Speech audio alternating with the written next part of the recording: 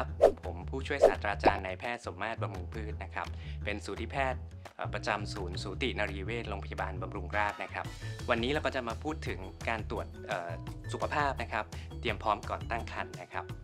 หลายๆท่านอาจจะสงสัยนะครับว่าการตรวจสุขภาพก่อนการตั้งครรภ์เนี่ยมันมีความแตกต่างกับการตรวจสุขภาพทั่วไปอย่างไรนะครับ การตรวจสุขภาพทั่วไปเนี่ยมันจะมุ่งเน้นในแง่ของปัญหาสุขภาพนะฮะในแง่ของโรคที่อาจจะเป็นอยู่นะครับไม่ว่าจะเป็นเบาหวานความดันหรือว่าไขมันในเลือดสูงนะครับแต่การตรวจสำหรับเตรียมพร้อมก่อนการตั้งครรภ์เนี่ยจะมุ่งเน้นไปที่การคัดกรองความเสี่ยง รวมทั้ง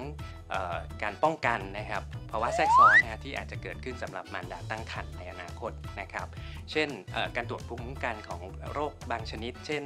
ภูมิคุ้มกันของหัดเยอรมันนะครับ สำหรับท่านที่ไม่มีภูมิคันเนี่ยเราก็สามารถให้ฉีดวัคซีนนะครับ เพื่อป้องกันการติดเชื้อนะครับ ก็จะได้ไม่ส่งผลต่อลูกน้อยนะครับ เมื่อมีการตั้งครรภ์เกิดขึ้น ที่สำคัญอีกอย่างหนึ่งนะครับ ก็คือการตรวจคัดกรองโรคทางพันธุกรรมนะครับ หลาย ๆ ท่านอาจจะมีประวัติเจ็บป่วยในครอบครัวที่เป็นโรคทางกรรมพันธุ์แต่อีกหลาย ๆ ท่านนะครับ ถึงแม้ไม่มีอาการความผิดปกติของโรคนะครับ ก็อาจจะมีโรคทางพันธุกรรมที่ซ่อนอยู่ เพราะฉะนั้นนะครับ ถ้ามีการตรวจคัดกรองในเรื่องของยีนนะครับ ทั้งทางฝ่ายชายและฝ่ายหญิงนะครับ ก็อาจจะสามารถช่วยป้องกันให้ลูกน้อยในครรภ์เนี่ยไม่เจ็บป่วยเป็นโรคทางพันธุกรรมได้ครับ